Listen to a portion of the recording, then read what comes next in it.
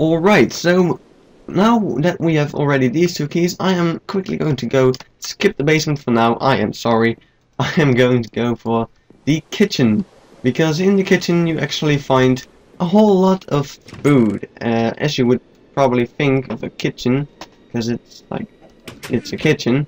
So, uh, but in the kitchen you find things other than just food.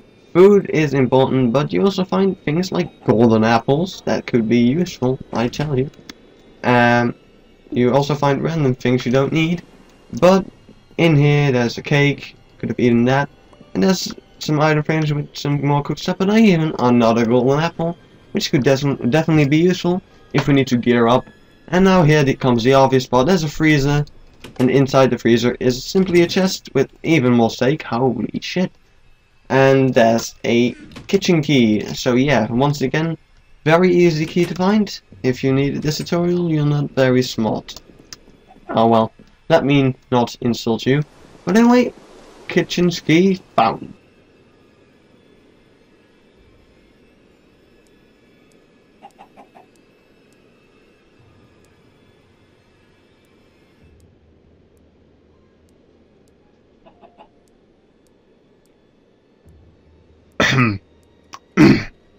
Why are you still watching? I think by now you should have made the decision of what you will click.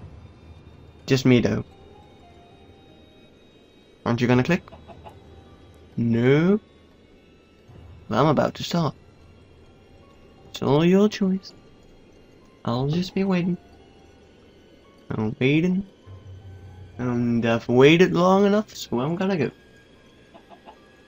And there's still a chicken walking around here. Hmm. I wish you the best of luck.